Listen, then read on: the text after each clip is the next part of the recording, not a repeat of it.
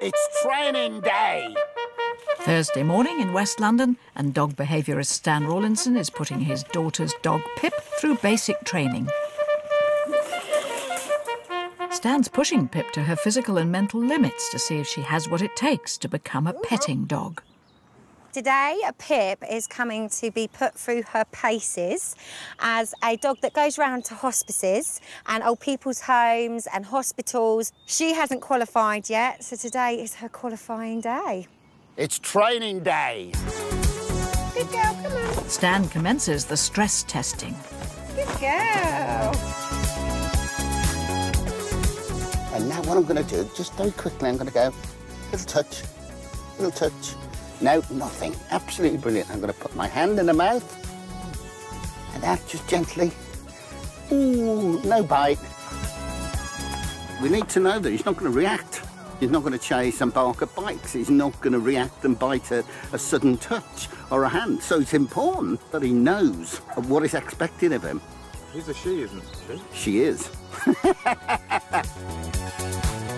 it's training day. I must be off my head.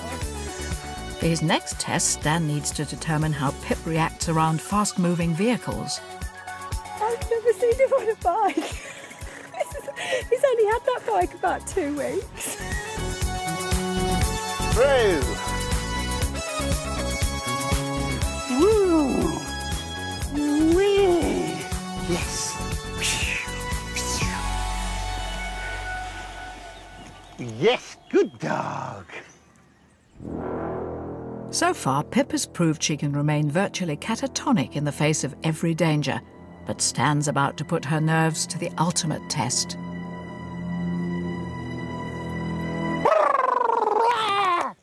Not a movement.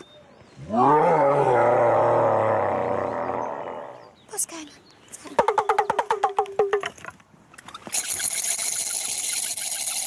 on? No problems whatsoever. Well, I think she was an absolute superstar. I think she's going to make a fantastic dog to go around to see all the children and all the old people. What's that? Good. Take it. Yeah.